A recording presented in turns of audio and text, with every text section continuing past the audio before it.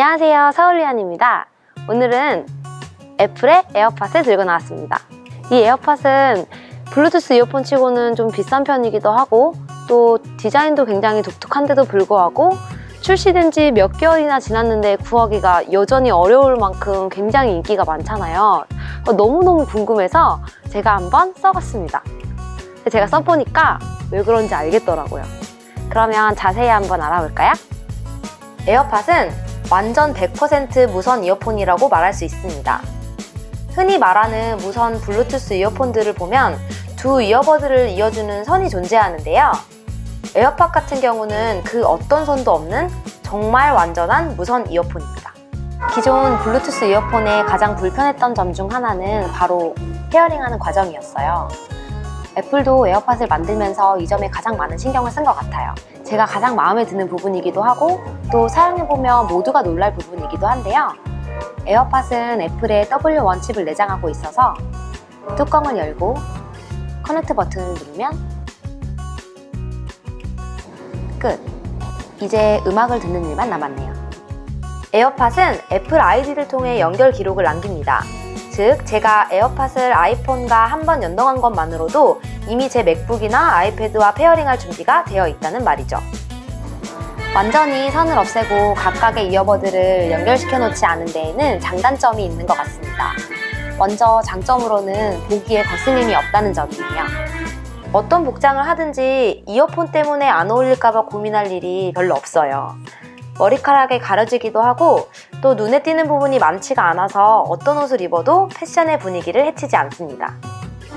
안 좋은 점은 이 작고 가벼운 에어팟이 잃어버리기가 너무 쉽다는 거예요. 그래서 저는 사용하지 않을 때는 꼭 케이스에 넣으려고 노력합니다. 그래도 다행인 게 에어팟을 케이스에 넣는 느낌이 꽤 좋아서 자꾸 넣고 싶어져요. 마그네틱으로 연결돼 있어서 마치 맥세이프처럼 착 달라붙는 느낌이 재밌습니다. 다음으로는 이 케이스에 대해 이야기해 볼게요.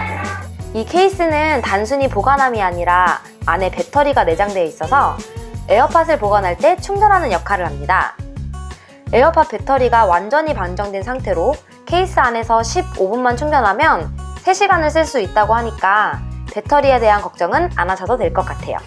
에어팟의 아주 똑똑하고 유용한 기능 중 하나는 에어팟을 통해 음악을 듣다가 귀에서 빼면 자동으로 음악이 정지해요. 또 반대로 빼고 있던 에어팟을 귀에 꽂으면 바로 이어서 재생이 됩니다. 별것 아닌 것 같지만 참 편리한 기능이에요. 애플의 센스가 보이는 것 같습니다. 또 한 가지 유용한 기능은 에어팟을 double tap해서 시리를 부를 수 있습니다. 핸드폰은 가방에 있고 에어팟만 귀에 꽂은 채 가고 있을 때도 문자를 보내거나 전화를 거는 등 간단한 조작이 가능해서 종종 사용합니다. 하지만 음악을 듣다가 음량을 올리거나 다음 곡을 넘어갈 수 있는 유일한 방법이 실이라서 불편할 때가 있기는 하네요. 음질은 그냥 무난한 것 같아요. 블루투스 이어폰에 기대할 만한 음질치고는 조금 좋은 정도? 물론 평소에 사용하고 있는 다른 이어폰에 비하면 부족하긴 한데 그러려고 산 건 아니니까요. 그리고 이래저래 가장 말이 많은 디자인. 좀 이상해 보이나요? 글쎄요, 디자인은 워낙 주관적인 거라 일단 저에게는 크게 중요한 요소는 아니었어요. 선이 없고 아주 작기 때문에 머리카락으로 거의 대부분을 가리고 다니는 저로서는 크게 의미가 없었어요.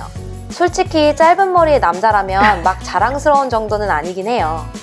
근데 디자인 자체가 못생겼다기보다는 좀 조금 어색하고 이상하게 느껴진달까? 이건 시간이 지나면 익숙해질 것 같습니다.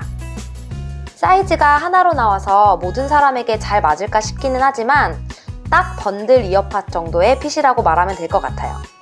다행히 저한테는 딱 맞아서 뛰거나 머리를 흔드는 정도로 빠지지는 않습니다. 에어팟은 애플뿐만 아니라 안드로이드 기기와도 블루투스를 통해 pairing이 가능해서 집에 있는 기기들과 사용하지 못할까봐 걱정하실 필요는 전혀 없습니다.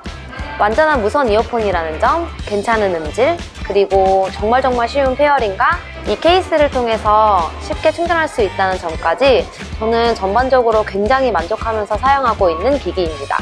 물론 조금 더 싸면 좋겠지만요. 여러분의 의견도 궁금하니까 의견 많이 남겨주시고요.